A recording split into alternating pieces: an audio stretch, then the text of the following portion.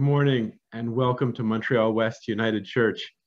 We look a little different this morning. We're uh, having a different format this morning, and this is because we're probably going to have some people back in the sanctuary today, but we also want to film online. Normally, we would have filmed this service the same as any other service, except that just this morning I found out my son was exposed to COVID. So he's fine, and his friend is fine. They're they just the friend just has a bad cold but um, but but and also my son has tested negative but just in case we decided that i would stay home today and film this service from home. So here i am. Isn't it wonderful all the technological and human resources we have in this in our church that we're able to adapt and stay safe no matter what arises? So here i am and welcome to the church this morning. I'm so happy that you could be here. Um, in just a second i'm going to introduce a special minute for mission. And I just say that our announcement sheet today was included with the link for this service. And uh, I would just highlight what you'll be hearing more about in our minute for mission that um, I think it's a great idea for this year because it's outdoors and it's bubble protected, but it's the St. James coldest uh, coldest night of the year. And this is a walk through our community to raise money for St. James Mission. I also want to remind you again that if you'd like to help spread vaccines, to the southern hemisphere or places, countries where they can't afford to pay for their vaccines. There are links to place where you can make those donations in our announcement sheet again this week for one more week. So those are my two announcements. And now I have the pleasure of in introducing Carolyn to share with us uh, something very close to her heart, a special minute from mission this morning. Carolyn. Good morning. At its most recent meeting, the worship committee was thinking about various ways that our caring and reaching out to the community happens as an expression of who we are as a real community. we were thinking, among other things, of the Minute for Mission that happens when we are doing a special project. Minutes for Mission can talk about things like our community outreach Christmas dinner, about our Lenten project, and this past year also about a special project in Advent. The committee began to think that there are a great many people in the congregation who are involved in assorted volunteer capacities, helping out on the ground, uh, being board members, even just caring enough about an organization to contribute generously. And we were thinking that perhaps from time to time, maybe once a month, there might be a minute from mission for mission that was brought forward by a member of the congregation who cares deeply about some organization. And so this is the first of such. And now I'm going to change hats. I'm no longer speaking to you as chair of the worship committee, but speaking to you as a board member at the St. James Drop-In Center. The St. James Drop-In Center's full title is St. James Drop-In Center for the Homeless. And homelessness can mean many things. And a slogan we like at St. James is home is more than just four walls and a roof. Home is a place of belonging where your individuality is recognized and as far as can be humanly possible, your needs are going to be met. So, St. James Drop In Center strives to be exactly that home for those who are struggling with all of the various ways that one can find oneself homeless mental health issues, addiction, and the very problem we all know so much about it because it's in the media of the lack of affordable housing for so many people in our community and in many others as well. So the St. James Drop-In Center is actually a very beautiful community. It has members. We don't speak of clients or beneficiaries, we speak of members. Members because this is a true community where people really care about each other, where you become a member not because of some exclusive criteria, but by chatting with the executive director and trying to figure out to what extent this kind of community can be a place where your needs are met. This is not just about food, clothing, a little chat perhaps, that you can get in a great many kinds of drop-in centers in the Montreal area. But St. James is unique in being a community where you are a member, where people really care about you as an individual.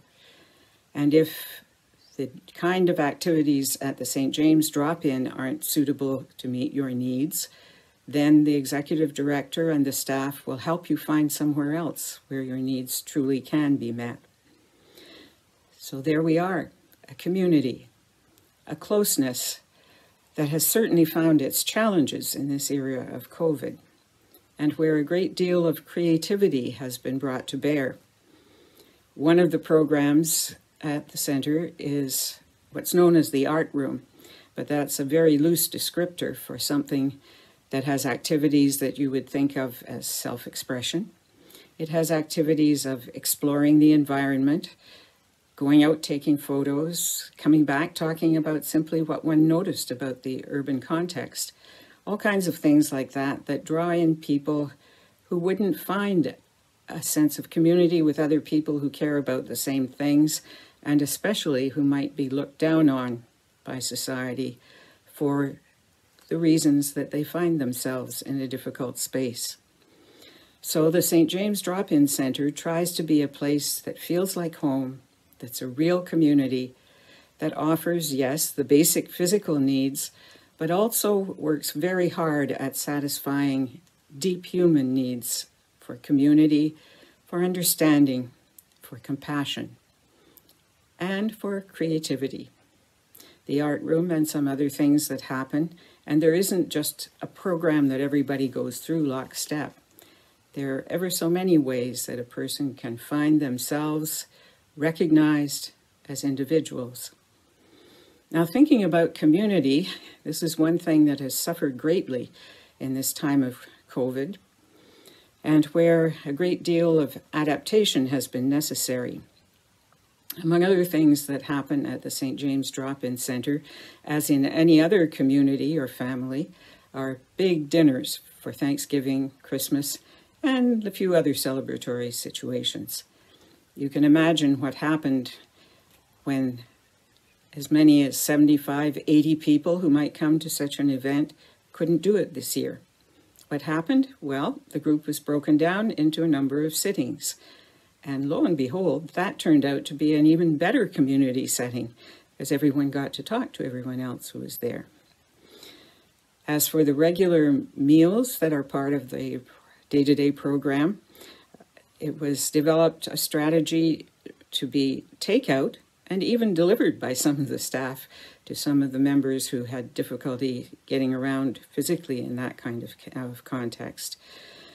And yes, even the major fundraiser, Coldest Night of the Year, which you heard a bit about last week in the announcements, what Reverend Mark talked about was the way it used to be before COVID came along. So now, such a fundraiser is certainly present. The enthusiasm of the people who walk on teams, who also use that as an opportunity to tell as many people as possible about what kind of caring goes on at St. James, are walking in group bubbles and talking to each other on their cell phones as they go so that they feel in touch with other people, but it's not the great big outreach as a group, but it's quite possible to do outreach in alternative ways, and there's an example. So I hope I have shared a bit of my enthusiasm about what goes on at St. James with you, and that maybe some others of you will be inspired to come along, speak to the uh, worship committee or the church office about your interest in presenting something you care about as a way we enact in the community who we are as a caring community. Thank you, Carolyn it's now time for us to begin with our prayers. Um, and I just like to say that the prayers throughout the service are taken from uh, a United Methodist website called Ministry Matters, Celebrate God's Presence, a United Church resource, and knowingjesus.com.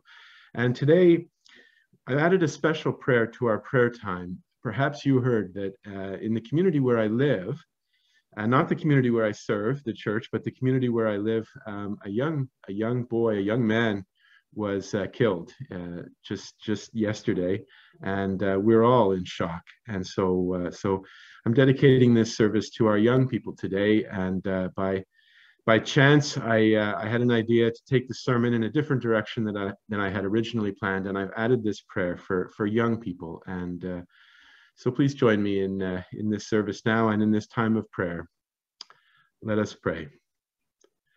We have gathered to worship God we have come seeking comfort, inspiration, community, and insight. We have come to open ourselves to the power of God's presence in our midst. We have come to offer up the seasons and the turnings of our lives and to ask God, God's help in our learning and in our growing. We have come to worship God. So let's worship God together. And now let's pray. God of blessings and woes, bless us this day with lives filled with love, caring, generosity, and deep abiding hope. We pray that the world of your prayers will one day dwell among all people, and we may be instruments of your love and your grace. Open our hearts with the joy of healing a world filled with brokenness and pain. In the name of the one who taught us the ways of light and love be in our worship, be in our very lives. Amen.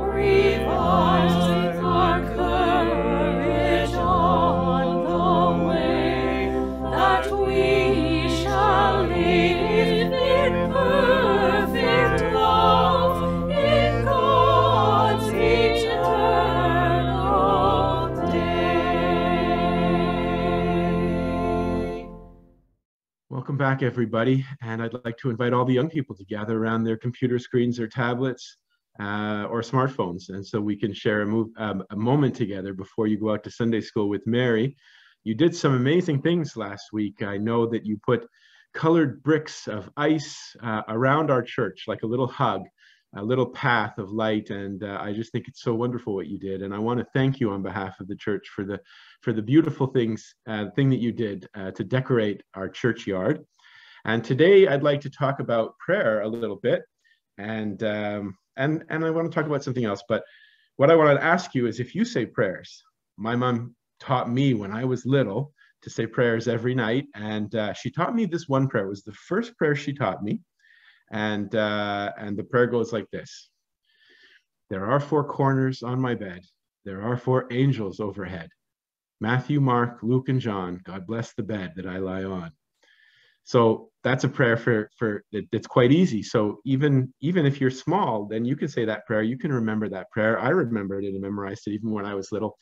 But I used to remember. I would always ask myself, who are these angels? Matthew, Mark, Luke, and John. And it's it's a, it was an interesting question. I actually found out Matthew, Mark, Luke, and John are the names of the four people who put the stories of Jesus into our Bible. The stories of Jesus are called Gospels. There, it means the good news, the story of Jesus who taught us to love one another and to love God and to be good people and showed us what it meant to be a good person. And uh, and then no one had phones and no one had cameras. They all of Jesus' teachings and life, we wouldn't know anything about them except for these four amazing people. Each told the story and what I like, what I love the most is they each told it differently. Now, I want you to imagine something. Imagine you went somewhere incredible. Maybe you went on a vacation somewhere. Maybe you went to visit your grandparents or your cousins, or maybe you just had an amazing story. Something happened in school and you had an amazing story, but other people were part of this story too.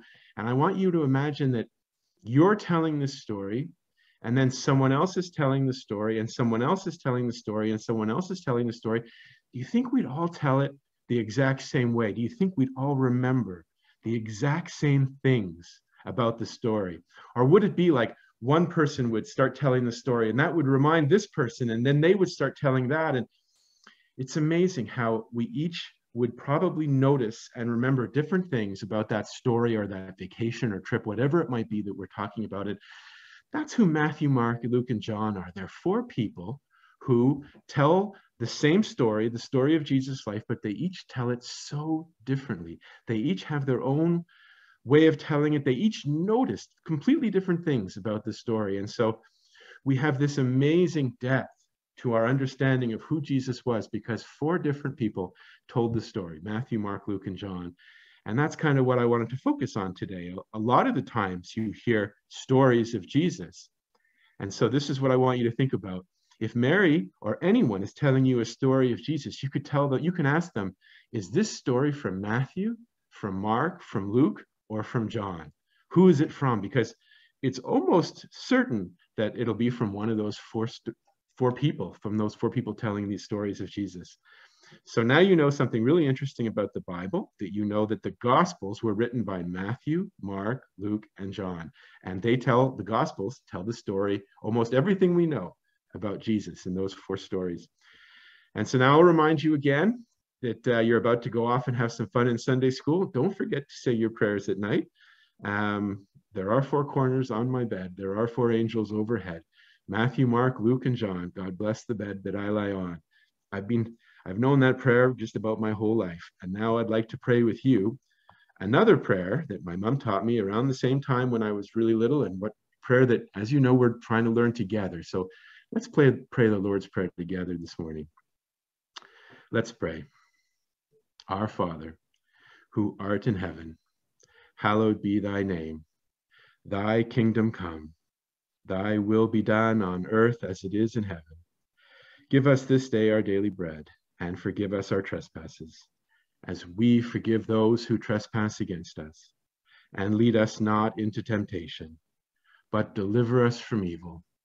For thine is the kingdom, the power, and the glory, forever and ever. Amen. Thanks for praying with me and for listening to my story about prayers and about Gospels and the Bible and Jesus.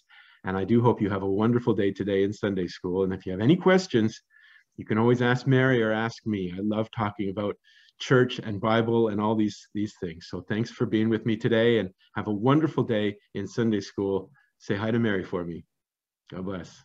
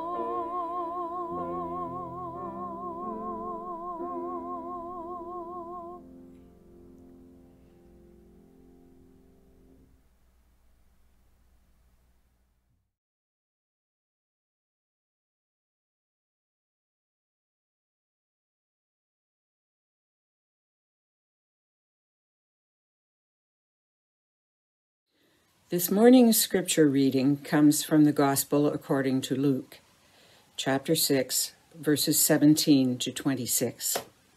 Jesus is speaking to a large group of people come to see what he's doing and to hear him. He went down with them and stood on a level place. A large crowd of his disciples was there, and a great number of people from all over Judea, from Jerusalem, and from the coastal region around Tyre and Sidon, who had come to hear him and to be healed of their diseases. Those troubled by impure spirits were cured, and the people all tried to touch him because power was coming from him and healing them all. Looking at his disciples, he said, Blessed are you who are poor for yours is the kingdom of God. Blessed are you who hunger now, for you will be satisfied.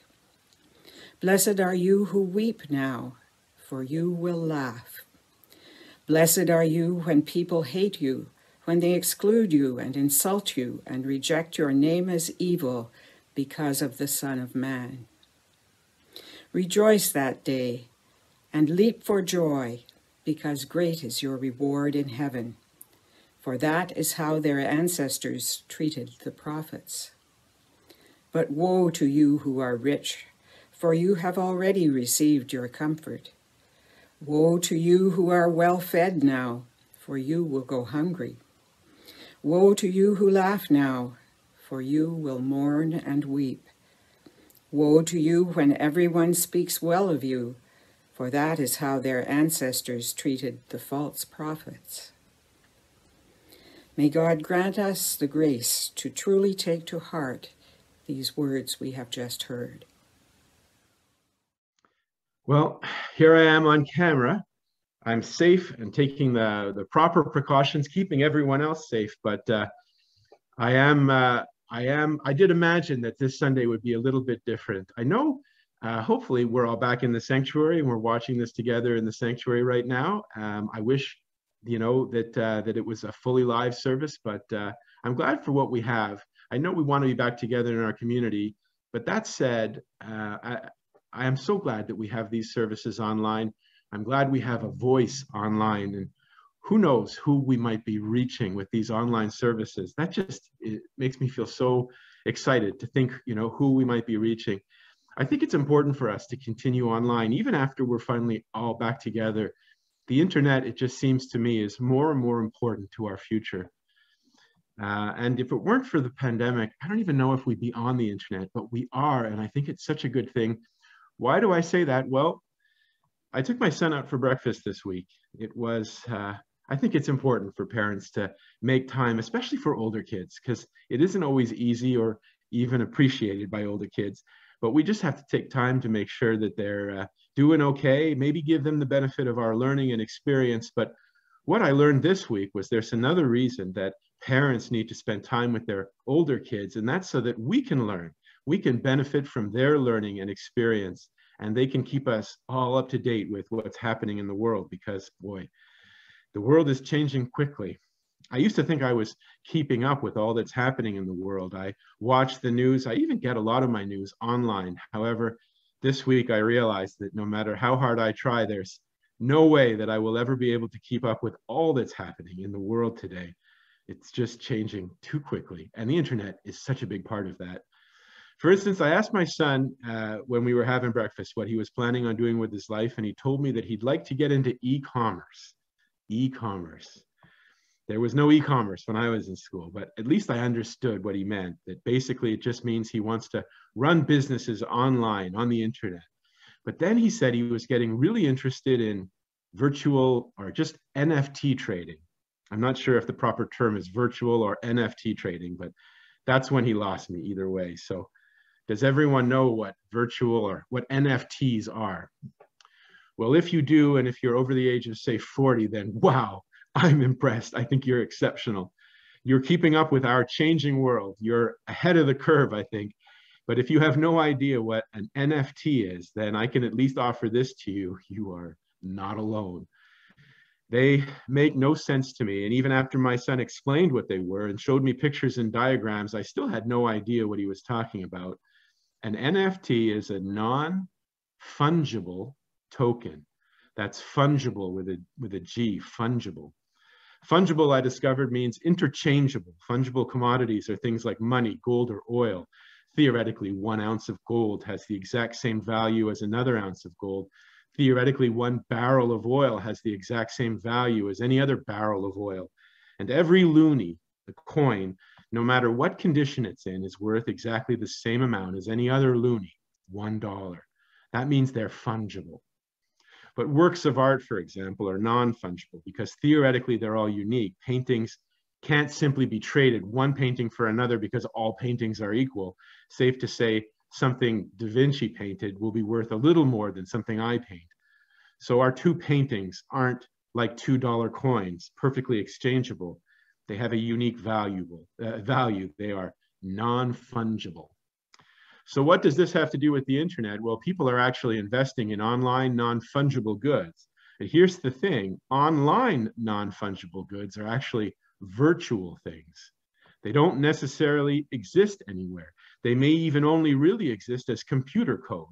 And people are investing in these things. The strangest one, my son explained, you gotta, I, I don't even know if I can do this justice, but he's explaining that people are buying digital copies of moments in great basketball games. So you go to this website and find the moment that your favorite star dunked the ball or made a three pointer, and then you buy that moment. Now, correct me if I'm wrong, I may not fully understand this, but in reality, the NBA owns all the rights to those videos. You're not buying publishing rights from the NBA. All you get for your money is the knowledge that on this one website, possibly started by a kid in a basement somewhere, you are recognized as owning that moment. It belongs to you on that website, but it's only on that website that you're recognized as owning that moment. So you actually, do you own anything? I guess, I guess you do because you can always sell that thing and people are actually making money, a lot of money, buying and selling on these websites. And all of these virtual NFTs are brought, bought and sold with virtual currencies the most famous being Bitcoin or Ethereum. These are currencies like British pounds or Canadian dollars, but they're generated and traded online exclusively. And the only thing giving them value is us, is people like you and me willing to give them value. You may think this is all just pretend, but Bitcoin has got, gone mainstream. It has real corporate advocates who see it as the future of money. Imagine this if you were smart enough to buy $100 worth of Bitcoin in 2012 you would have $29 million today. A person actually bought a pizza with Bitcoin in 2010. The pizzeria in Florida agreed to take the virtual currency in return for the pizza merely in order to be able to boast that they had sold the first pizza for Bitcoin. They never even imagined it would be worth anything. But they sold that $20 pizza for 10,000 Bitcoins. Bitcoins were worth almost nothing back then. 10,000 Bitcoins are worth half a billion dollars today. That was one expensive buy.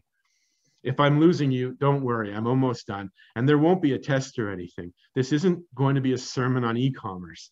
All I'm trying to explain is that the internet is changing things so fast. And it's also like a gold rush of the, the gold rush in the 19th century, except the fast money promised by the internet doesn't even require any hard work or even getting out of bed. The way people used to invest in art or coins or jewelry, they're literally investing in virtual art virtual coins, and uh, which are nothing. Basically, these things break down to nothing but computer code. And young and kids younger than my son are buying NFTs of video clips or digital art online for a few hundred dollars, and just weeks later they're selling them for six figures. I'm not joking. My son showed me an NFT, a computer generated picture of a monkey in a car that someone his age bought for $200 and sold two weeks later for $150,000 to another investor. But the reason I bring all this up today is it made me think about what people his age are learning online, especially about things like money. They seem to think that money is easier to make than any generation before them, even easier than in the gold rush. They seem to be bombarded by messages every day of kids their age building fortunes on YouTube or TikTok.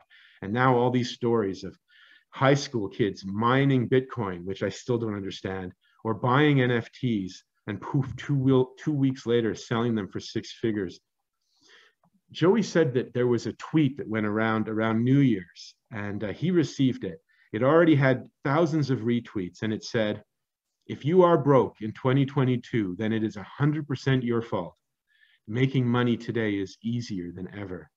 He said he received another quote some time ago that read, if you're born poor, it's your fault. It's sorry, it's not your fault. But if you die poor, it is. These are examples of this online culture that truly believes that money is so easy to make, literally just a click away. And so I understand why Joey is so excited about the future of e-commerce and NFTs, but I got very worried this week about just what he was learning online. And I also worried about how young people might be being taught to think about things like poverty and the poor especially given the fact that while this may be a virtual, an age of uh, millionaires around every corner. It's also an age when the gap between rich and poor is growing and uh, the middle class is disappearing. And that's a fact. Now, I need to be very clear here. My son was not advocating or even repeating these quotes about poverty. He was just telling me that they were things he had heard, along with the bombardment of stories of kids his age making millions with a few clicks of a mouse, trading what amounts to computer codes and making hundreds of thousands of dollars instantly without any work. And I think he was asking me what I thought. And that's why I was so glad that I had taken the time to talk to him to that day and why I found it so interesting when I realized what today's reading was. Today's reading is from Luke's Gospel. The Bible has a lot to say about money and especially about poverty, but Luke's Gospel may be the Bible's masterpiece on poverty. The Gospels are also wonderfully different. Mark might be said to be most concerned with Jesus' movements and chronology of, of Jesus' actions. Mark hardly says a word about Jesus' sermons or teachings. John is so abstract, concerned with theology and philosophy and answering questions about Jesus, who Jesus is in the grand scheme of things. But Jesus' sermons, the only reason we know anything about Jesus' wonderful sermons is thanks to Matthew and Luke. But even then, look how different they both are. Matthew and Luke both tell us the story of very similar sermons, but Matthew chooses to record the Sermon on the Mount, a sermon preached from a high place. Luke situates his sermon, the one we heard read today, on a plain, a flat, even place. Notice where Luke records Jesus speaking to the poor and the hungry, Matthew hears something very different. In Luke's gospel, we hear, Blessed are the poor, blessed are the hungry. In Matthew, we hear, Blessed are the poor in spirit, and blessed are the poor, sorry, blessed are those who hunger for righteousness. It's Luke, more than any other evangelist, who records Jesus' profound concern for the poor. Though the other evangelists hear it and understand it, Luke is the one who brings it to the forefront of his gospel and most loudly proclaims Jesus' words that the poor are blessed and loved by God, and perhaps even in some way the chosen ones of God. Blessed are the poor, for theirs is the realm of God, and blessed are those who hunger now, for they will be filled. Luke seems to hear Jesus not only preaching to the poor, but preaching God's almost preference for the poor. Now, that would surely be confusing to those who have grown up in the age of e-commerce, the world of Bitcoin billionaires. Why would God want anyone to poor when be poor when being rich is so easy? Well, I, for one, I don't think God wants anyone to be poor exactly. The message is more complex. That's why we study these things. It's interesting that Luke specifies that the location of this sermon was not a mountaintop, it was a plain, a flat place. So all Luke's talk about wealth happens on a flat place, a flat, even place. And I think that's so important.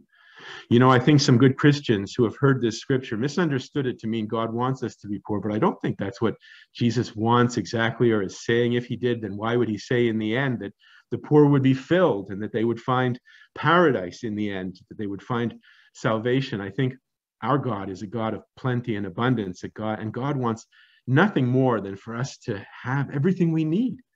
However, what Jesus may have been talking about on that plain was equality, even more than poverty. What he may have been really talking about was how unequally wealth was shared in the ancient world.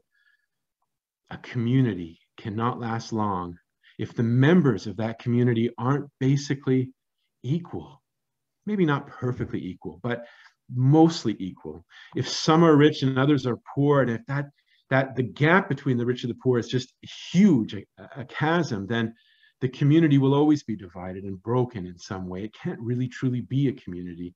Each of the evangelists has a slightly different focus in their story of Jesus, but there's a lot they agreed upon. They all agreed that Jesus' primary message was to love our neighbor. Then they each focused on different aspects of that. What Luke realized, I believe, was that where people are loving their neighbor, there cannot be large gaps between the rich and the poor. There is no love where some have too much and others are hungry. The world is certainly changing very fast, even faster than I understood it was a few days ago. My son taught me that. But I didn't need him to tell me that the gap between the rich and the poor today is getting larger every day. It just seems to be the direction the world is going. Perhaps everyone is so distracted by all the easy money there is to make, they aren't seeing all the poverty that is growing, increasing every day all around the world. Perhaps poverty is hard to see from behind our computer screens, each in our own homes. Another direction the world is taking is that fewer and fewer young people are going to church which is a pity.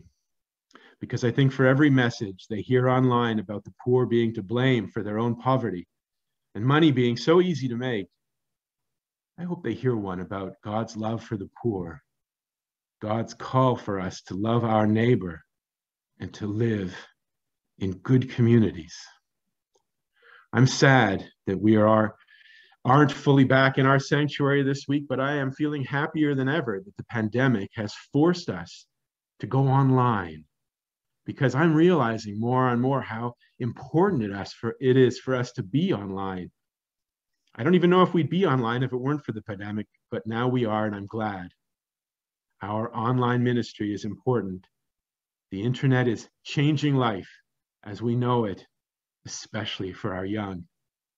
And I just hope Bitcoin billionaires are not the only voice that our young people are hearing Amen.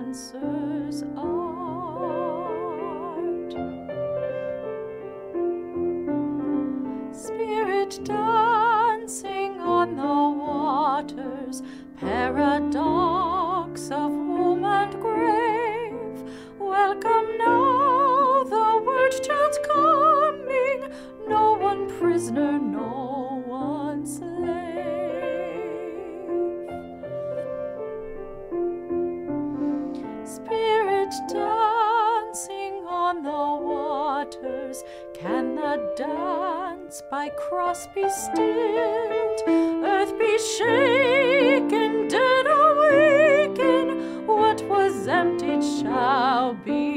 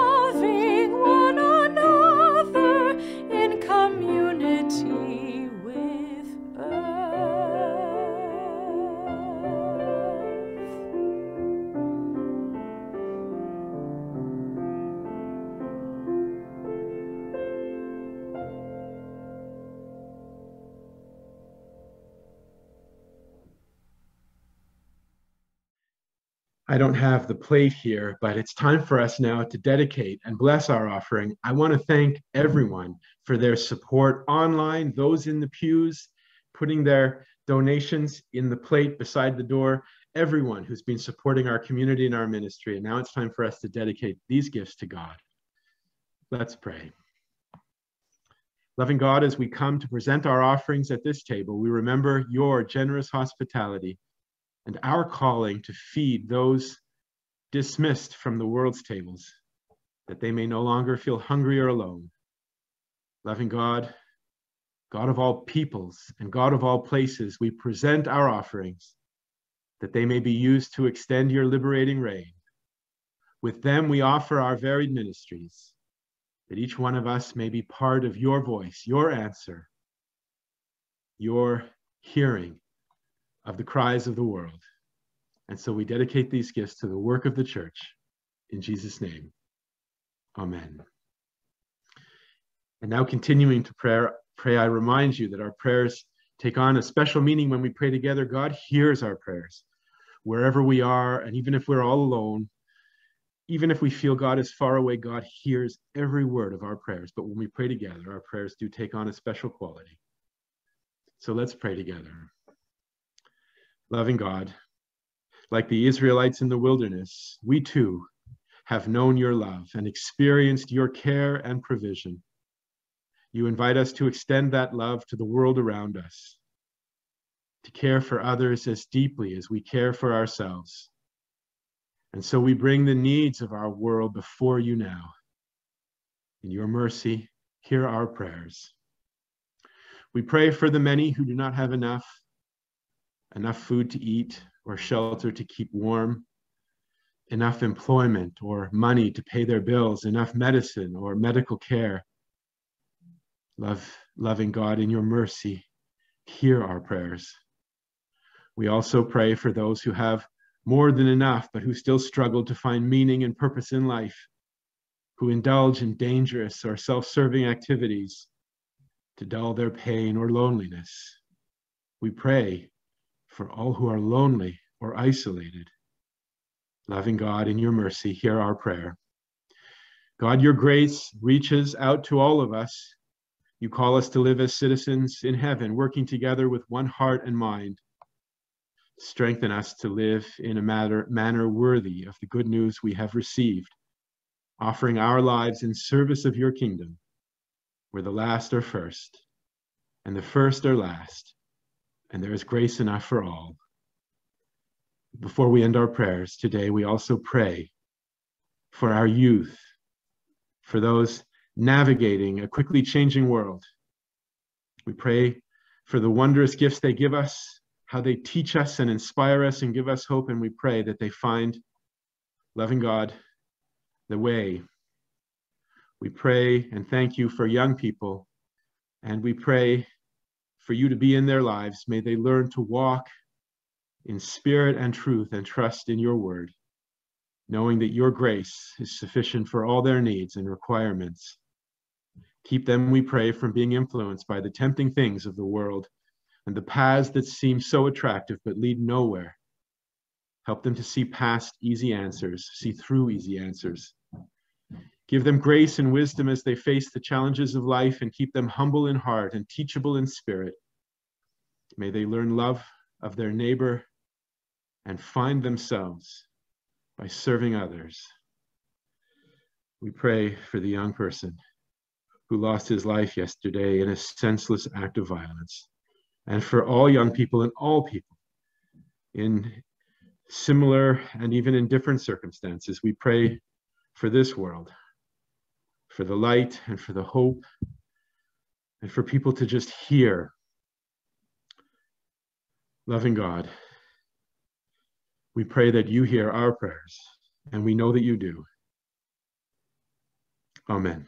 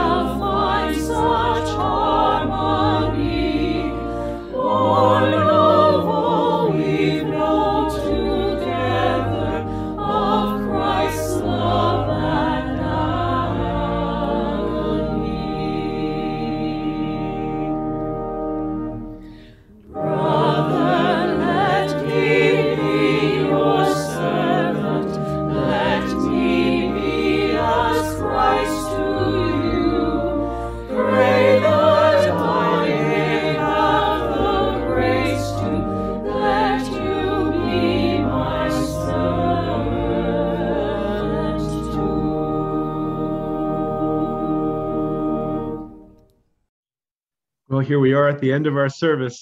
This service has been different again from our other services. We've tried many things, but once again, we've continued. We have, we renew, we give thanks for having a, a presence in the sanctuary this morning, but also for maintaining our presence online. Thank you all for being here. Thank you for to Kevin and Roy. Thank you to Samantha and Samuel, the choir and Stevie. Thank you for Carolyn this morning for our reading and our minute for mission. Thank you, loving God, for giving us this community and this time to worship and connect and be led and guided by you, by your light. And my friends, until we're together again, may the grace of God, the love of Jesus Christ, and the fellowship of the Holy Spirit bless you now and always until we're together again. Go in peace. Amen.